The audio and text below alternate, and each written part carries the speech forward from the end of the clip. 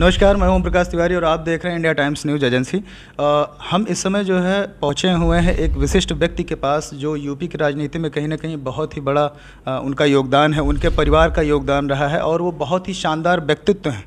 व्यक्तित्व के धनी हम कह सकते हैं बहुत ही प्रतिभाशाली हैं और बहुत ही ज़मीनी स्तर से वो उठ करके जो है और यूपी की राजनीति में प्रदेश लेवल का ले लीजिए या जो एक सरकार बनाने में कहा जा सकता है 2017 में उनका बहुत बड़ा योगदान रहा कहीं ना कहीं। जहाँ उनका नाम है नीरज बोरा जो भाजपा भारतीय जनता पार्टी से विधायक हैं लखनऊ से।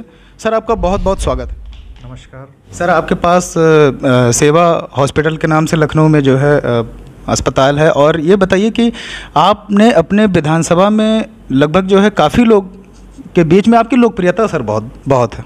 यहाँ पर जो है बच्चा बच्चा और जो बड़ा बड़ा भी वो भी कह रहा है कि विधायक जी हमारे जो है बड़े ज़मीनी स्तर के नेता हैं। और वो ऐसे कह सकते हैं कि कोई भी अगर एक फ़ोन कॉल कर दे छोटा सा बच्चा हो या बड़ा सा हो, रात हो या सुबह हो तो जो है विधायक जी हमारे खड़े रहते हैं। आप ये बताइए सर कि अस्पताल के माध्यम से आपने अपने विधानसभा की कैसे मदद की या कितने की, वेंटिलेटर, ऑक्सीजन्स की इतनी प्रॉब्लम्स आई कोविड के दौरान, उनको आपने कैसे पूरा किया? देखिए कोरोना का संक्रमण मार्च में प्रारंभ हुआ दूसरी लहर का और उसके बाद वो गति उस पकड़ने लगा। तो मैंने देखा कि एक पंद्रह दिन का समय ऐसा आया जिस समय ज़्यादा तकलीफ़ थी और मारा मारी थी। तो उसमें विशेष रूप से ऑक्सीजन की आवश्यकता पड़ी। मेरा ये मानना है कि 100 में 90 परसेंट लोग तो स्वयं अपने घर पर इलाज करा के स्वस्थ हुए हैं। दस परसेंट लोग ऐसे थे जो लोगों को ऑक्सीजन की आवश्यकता हुई। और उस दस परसेंट में एक साथ एक समय ऐसा आया जब अस्पतालों में बेड की कमी होने लगी और ऑक्सीजन की भी थोड़ी प्रचुर मात्रा में कमी हुई थी एक समय में। तो वो समय संकट काल का सबसे खराब समय था। और उसके बाद धीरे धीरे फिर वो भी स्थिति सामान्य हुई। सरकार ने तत्काल प्रयास किया। और देश के बड़े बड़े ऑक्सीजन सप्लायर्स के माध्यम से लखनऊ के अंदर ऑक्सीजन आपूर्ति की गई। आपको जहाँ संज्ञान में है कि ट्रेन के माध्यम से यहाँ पर लिक्विड ऑक्सीजन आई और उसके बाद व्यवस्था को दुरुस्त किया गया। यह जो संकट आया, इसमें एक विशेष कारण था। कारण ये था कि जब इस बार लोगों को यह एहसास हुआ कि दूसरी लहर में ऑक्सीजन की आवश्यकता पड़ेगी तो लोगों ने बाज़ार से जो लोग थोड़ा सा संपन्न वर्ग के थे, उन लोगों ने बाज़ार से ऑक्सीजन सिलेंडर खरीद लिए। और अपने घर में बीमार हों या ना हों दो दो सिलेंडर सबने अपने घर पर स्टोर करने शुरू कर दिए कि ऑक्सीजन मंगा के रख लो, पता नहीं किस समय ऑक्सीजन की ज़रूरत पड़ जाएगी। तो जो एक नॉर्मल टेंडेंसी होती है, जो ऑक्सीजन सिलेंडर्स की आपूर्ति होती है, जो व्यवस्था के अंतर्गत जितने सिलेंडर बाज़ार में चल रहे होते हैं, अचानक अगर 50 परसेंट सिलेंडर बाज़ार से गायब हो जाएँ तो निश्चित रूप से वह असामान्य स्थिति पैदा हो जाएगी। तो वही कारण बना ऑक्सीजन सिलेंडर की कमी का। शुरू में ऑक्सीजन की प्लांटों पे भी कमी हुई, उसकी आपूर्ति प्रारंभ हुई और फिर सुचारू रूप से वो चालू हो गई। तो उस पूरे कोरोना के काल में लोगों ने मेरे से संपर्क किया। मैंने उनसे हर एक के फ़ोन को अटेंड किया। चाहे मैं संक्रमित था उस समय, चाहे संक्रमण ठीक स्वस्थ होने के बाद भी, हर एक के फ़ोन को अटेंड किया मैंने। और उसके बाद जहाँ संभव हुआ उनको भर्ती कराने के लिए मैंने प्रयास किया कि वो भर्ती हो जाएँ स्वस्थ हो जाएँ। एक समस्या मेरे स्वयं के अस्पताल में ये है कि मेरे स्वयं का अस्पताल जो है वो गुर्दों का अस्पताल है गुर्दे रोगों के। और इसलिए वो नहीं नहीं अच्छा, किडनी किडनी। अच्छा, किडनी। किडनी का हॉस्पिटल है। और किडनी के पेशेंट्स यहाँ पर डायलिसिस पे होते हैं। इसलिए उसको कोविड अस्पताल नहीं बनाया जा पा रहा था। क्योंकि कोविड अस्पताल बनाने में एक ये सबसे बड़ा संकट है। जी जी हर जगह पे कन्वर्ट भी किया जा रहा था सरकार के द्वारा भी। हाँ लेकिन जैसे हमारे यहाँ 25 रोगी ऐसे हैं जो प्रत्येक दिन डायलिसिस पे होते हैं। तो यदि वो कोविड अस्पताल बन जाता तो वो 25 व्यक्ति डायलिसिस जिनकी रोज़ हो रही है वो बंद हो जाती तो वो मृत्यु हो जाती तो जिन लोगों का आप बराबर से इलाज कर रहे हैं उनके साथ ऐसा आप नहीं कर सकते हैं। इसलिए मेरी मजबूरी थी कि उसे नॉन कोटिव कोविड हॉस्पिटल के रूप में ही रखना पड़ा। क्योंकि एक ही तल पर हमारे वो अस्पताल है जहाँ पर डायलिसिस भी होती है और अन्य बीमारियाँ भी देखी जाती हैं। तो जो पेशेंट्स का हम भरपूर मदद कर सकते थे वो हमने करने का प्रयास किया और लोगों को भर्ती कराने का प्रयास किया। फिर मेरा एक प्रयास जो सबसे बड़ा हुआ जो मैंने आपसे पहले बताया नब्बे परसेंट लोग घरों पर स्वस्थ हुए। तो मैंने अपने कार्यकर्ताओं के माध्यम से, स्वयंसेवकों के माध्यम से गली गली में जिन घरों में दवाइयों की आवश्यकता थी, हालाँकि उत्तर प्रदेश की सरकार के माध्यम से भी दवा पहुंचाई जा रही थी, लेकिन ऐसे तमाम रोगी थे जो मुझे मिले, मेरे संपर्क में आए, जिन्होंने एक वजह थी कि उन्होंने टेस्ट नहीं कराया था। कई लोगों से मैंने जब फ़ोन पर बात की, उन्होंने कहा, साहब, है तो बुखार, लेकिन हमने टेस्ट वेस्ट नहीं कराया है। हम घर पर अपने अलग हो गए हैं और घर पर ही अपना इलाज कर रहे हैं। तो मैंने देखा कि ये संख्या भी बड़ी थी मोहल्लों में। तो मैंने अपने कार्यकर्ताओं से कहा कि उनको संपर्क करें और उनको हम लोगों ने निःशुल्क दवा का पैकेट पहुँचाने का काम किया। अच्छा सर ये बताइए कि आपके विधानसभा में जो है, अभी जानकीपुरम में भी एक मुद्दा आया था बीच में जब कोरोना का बहुत तगड़ा जो है लहर था। तो उसमें आया कि जो ऑक्सीजन की जो काफ़ी कमियाँ आई तो यहाँ पर जो है कई ऐसे लोग पकड़े गए जिन्होंने ब्लैक भारी मात्रा में कर रखे थे। काफ़ी ज़्यादा सिलेंडर्स वहाँ से बरामद हुए। तो इस जैसे आपने बोला कि कुछ लोगों ने स्टोर कर लिया। तो सर स्टोर कर लिया या फिर ऐसे जमाखोरी वाला हुआ और उस पर क्या कार्रवाई हुई? हाँ, ये ये भी ये भी विषय है। जो स्टोर करने वाले लोग तो एक वो थे जो लोग संपन्न थे और अपने अपनी सुरक्षा में घर में सिलेंडर रख रहे थे एक या दो ले लिया। लेकिन ये काला बाजारी वाले लोग भी आए। जानकीपुरम में पुलिस ने सख्त कार्रवाई की है उनके ऊपर। और जहाँ कहीं भी कालाबाजारी करने वाले लोग थे, आपने देखा है कि सरकार ने पूरी मुस्तैदी के साथ उन सबको पकड़ा है और उनको जेल भेजने का काम हुआ है और उपयुक्त उनके ऊपर कानूनी कार्रवाई हो रही है। यहाँ नहीं, जो उन्होंने, जिन लोगों ने इंजेक्शन रेमडेसिविर भी ब्लैक मार्केटिंग कर रहे थे, कालाबाजारी कर रहे थे, उनके साथ भी कार्रवाई हुई है। तो कालाबाजारी किसी भी हालत में बर्दाश्त नहीं की जा सकती है। और अब ये प्रयास है कि यदि तीसरी लहर आती है तो उसके पहले आपको मालूम है कि उत्तर प्रदेश सरकार लगभग उत्तर प्रदेश में 400 प्लांट ऑक्सीजन के लगा रही है और मेरी विधानसभा में दो अस्पताल आते हैं। एक अलीगंज में बीएमसी और दूसरा ठाकुरगंज का राजकीय संयुक्त चिकित्सालय। दोनों अस्पतालों में ऑक्सीजन के प्लांट लग रहे हैं। सर, डेटा प्लस से निपटने के लिए जो जो कि बताया जा रहा है कि बिल्कुल मौत के दरवाजे दरवाजे तक खींच ले जाएगी, ये सब तो बिल्कुल नॉर्मल था। तो सर ऑक्सीजन प्लांट जो आप बता रहे हैं कि सरकार इस पर काम कर रही है तो ये कब तक पूरा हो जाएगा? हमारे जो हमने अधिकारियों के साथ मैं बराबर समीक्षा करता हूँ अभी भी हाल में आठ दस दिन पहले समीक्षा हुई थी तो उन लोगों का ये कहना था कि जुलाई के तीसरे सप्ताह तक वो प्रारंभ हो जाएगा। तो हमारा वही टारगेट है कि जुलाई में हर हालत में ये सारे ऑक्सीजन प्लांट चालू हो जाएँ जिससे कि अगर वो संभावना जो है अगर आती है तो ऑक्सीजन की में आपूर्ति में कभी कमी ना हो।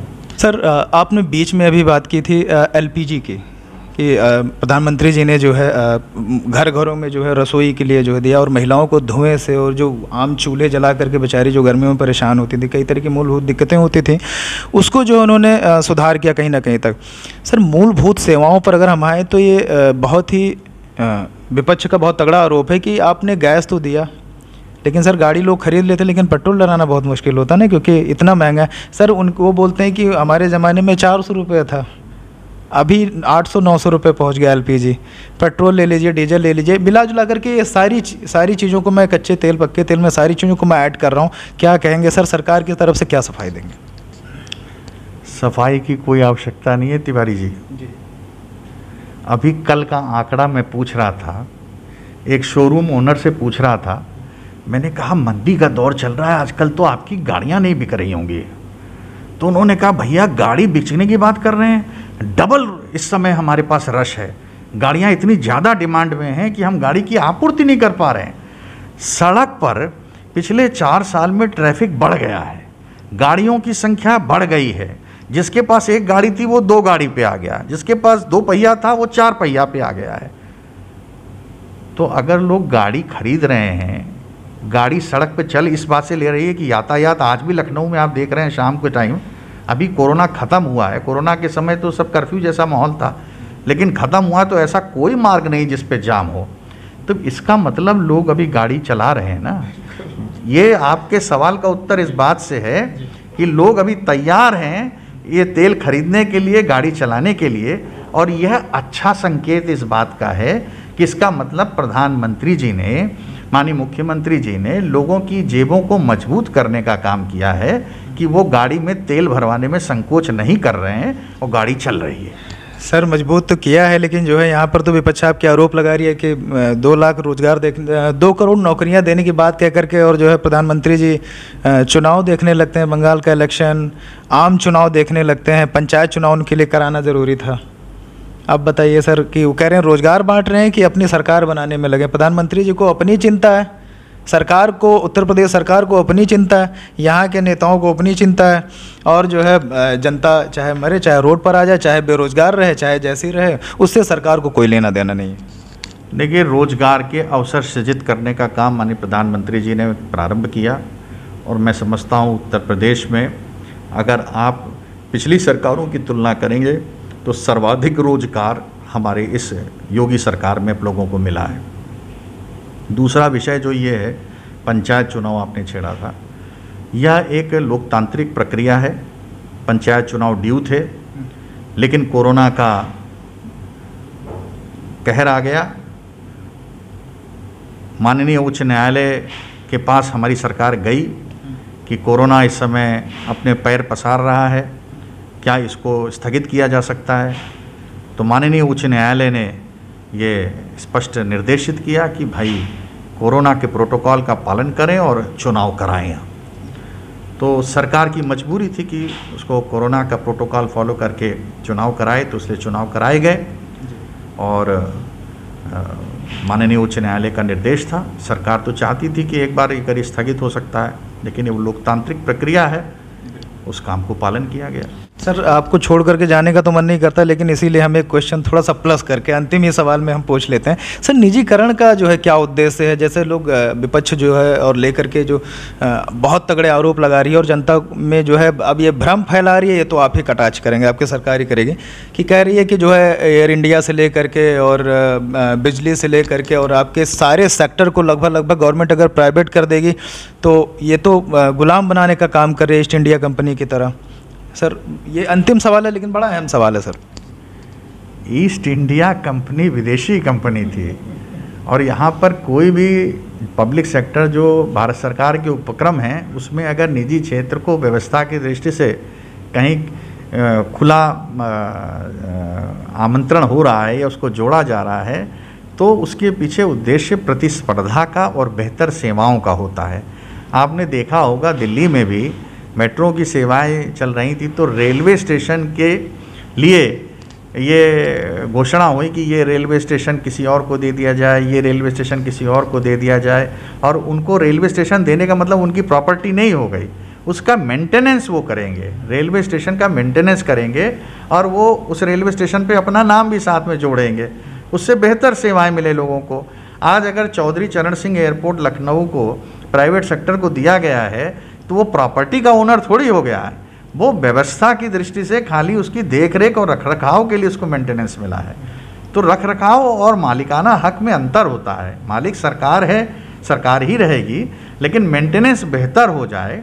इस दृष्टि से सरकार अपनी, देखिए सर्विस इंडस्ट्री जहाँ तक है आप और अन्य देशों की तुलना भी करेंगे तो अन्य देशों में डिफेंस अपने पास रहता है। लोग सरकार डिफेंस अपने पास रखती है क्योंकि वो देश की सुरक्षा से जुड़ा हुआ मसला है।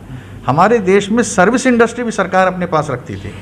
तो अगर सर्विस इंडस्ट्री में हम लोग क्या कहते हैं, प्राइवेट सेक्टर को भी जोड़ेंगे। आप खुद जानते हैं कि अगर एक कार्यालय है, उस कार्यालय की देखरेख अगर आप निजी हाथों में सौंपते हैं साफ़ सफ़ाई की तो वहाँ पे अच्छी साफ़ सफ़ाई होने लगती है।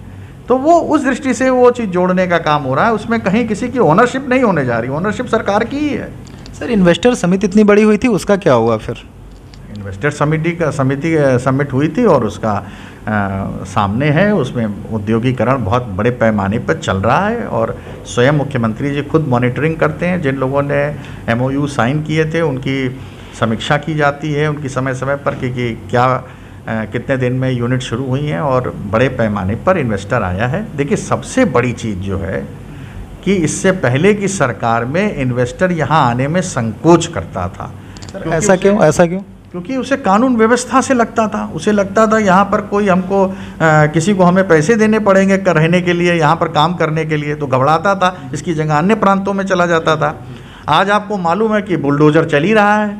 जिन लोगों के ऊपर बुलडोज़र चल रहा है और जो इस तरीके की कार्रवाई करने वाले लोग थे, उनके ऊपर बुलडोज़र चल रहा है तो जब ये बुलडोजर चलता है तो उत्तर प्रदेश की जनता बहुत खुश होती है। और उसे लगता है कि माफिया राज खत्म हो रहा है और कानून व्यवस्था सुधर रही है तो मैं आपको बता दूँ, अन्य प्रांतों के बड़े बड़े उद्योगपति अब उत्तर प्रदेश की तरफ़ मुख अपना कर चुके हैं और यहाँ पर आकर वो औद्योगिक इकाइयाँ सर, विपक्ष तो कह रही है कि मुख्यमंत्री जी जो है, अपना व्यक्तिगत ही मामला सुलझाने में लगे हुए हैं, जब से सरकार बनी है, कि मतलब अपनी व्यक्तिगत दुश्मनी को ख़त्म कर लें पहले। नहीं व्यक्तिगत इसमें क्या है? आपको तो मालूम है कि कोई एक गोरखपुर में तो कुछ हो नहीं रहा है कि गोरखीपुर में हो रहा है। प्रयागराज में भी बुलडोजर माफियाओं पर जो सर कार्रवाई हो रही है जो भी माफियाओं पर जो कार्रवाई हो रही है तो वो वही माफिया हैं जो हिस्ट्री शीटर हैं जिनके मुकदमे हैं थानों में दर्ज हैं उन पर कार्रवाई हो रही है। वो लखनऊ से लेकर नोएडा तक सब पर हो रही है कार्रवाई। सर बहुत बहुत धन्यवाद आपका। तो ये थे डॉक्टर नीरज बुरा, विधायक लखनऊ से, जिन्होंने बहुत ही बेबाकी से अपनी सफ़ाई दी, सरकार के प्रति जो जवाब दिया, सरकार की तरफ़ से जो सफ़ाई दी। आशा करते हैं कि आपको जो है ये इंटरव्यू बहुत पसंद आएगा क्योंकि बहुत ही बेबाक इन्होंने जवाब दिया। बड़े ही ज़मीनी स्तर के नेता हैं डॉक्टर नीरज बुरा जी। ये एक, डॉक्टर के रूप में भी यहाँ पर हैं और ये जो है अपना इनका खुद का अस्पताल भी है। जिससे जो है ये अपनी विधानसभा के लोगों की सेवाएँ देते हैं विधानसभा के लोगों को लगातार जो इन्होंने कोविड में उनकी पूरी मदद की है। मिलेंगे फिर से किसी व्यक्ति विशेष में जो है किसी स्पेशल पर्सन से तब तक के लिए दीजिए इजाज़त। बहुत बहुत धन्यवाद।